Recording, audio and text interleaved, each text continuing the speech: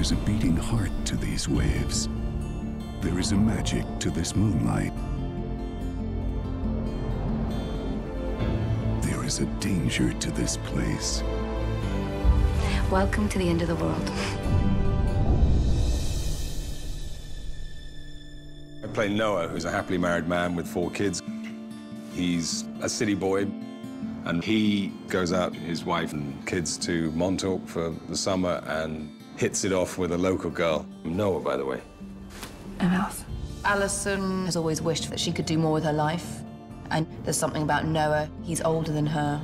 He's more assured. There's an escapism that he represents and that she's kind of attracted to.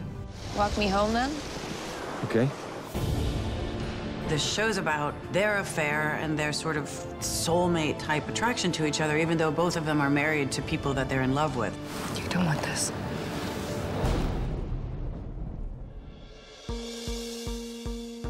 The setting is so often the sort of other character in the show. Montauk means something different to everybody who is a part of our story. Alison's point of view and Cole, those characters have a really deep connection to Montauk and to the town and to what it used to be and what it's becoming. Cole is part of this large ranching family and has very deep roots into Montauk. My family has been in Montauk for seven generations. I will be buried here, and I will fight like hell to keep Montauk local.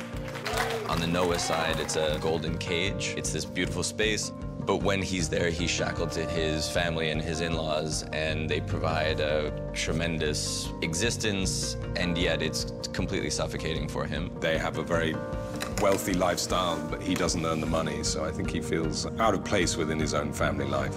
Are you a good person? No.